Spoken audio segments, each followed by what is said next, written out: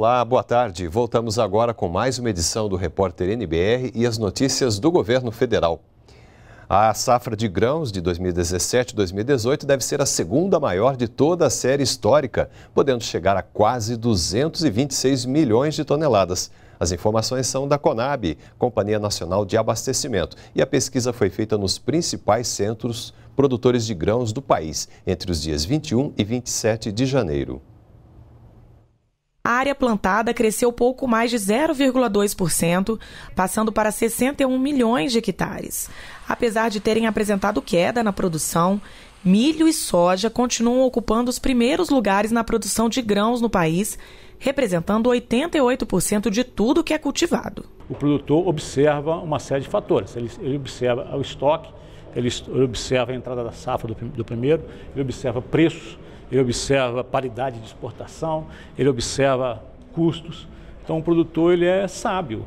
O produtor hoje é muito profissional. Então neste momento o produtor está entendendo que há uma, há uma, uma, uma oportunidade em outras culturas em detrimento ao plantio da área de milho. O destaque ficou por conta do algodão, com aumento de 17% na produção, chegando a quase 2 milhões de toneladas e 1 milhão de hectares de área plantada. A produção de algodão ano também é excepcional e, e, isso em função basicamente da rentabilidade que nós tivemos no ano passado.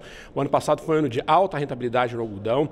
É, por exemplo, a região daqui de Barreiras, que é a segunda maior produtora de algodão do país, que viveu três anos de problemas climáticos nos anos anteriores. No ano passado teve uma colheita recorde, é, recuperaram a rentabilidade e realmente é, isso estimulou a produção. O IBGE também divulgou hoje uma estimativa para 2018 para a safra nacional de cereais, leguminosas e oleaginosas, totalizando mais de 226 milhões de toneladas. O resultado é 6% inferior ao obtido em 2017, mas, apesar da queda, a estimativa é a segunda maior da série histórica, iniciada em 1975. O plantio da safra 2018 começou um pouco mais tarde, em função do atraso do período de chuvas. A inflação de janeiro, medida pelo IBGE, ficou em 0,29%. Este foi o percentual mais baixo para os meses de janeiro desde a criação do Plano Real. No acumulado dos últimos 12 meses, o índice também caiu para 2,86%, ficando abaixo do registrado nos 12 meses imediatamente anteriores. Os grupos de habitação e vestuário foram os destaques positivos do mês. Entre as regiões, a menor taxa de inflação foi registrada em Brasília.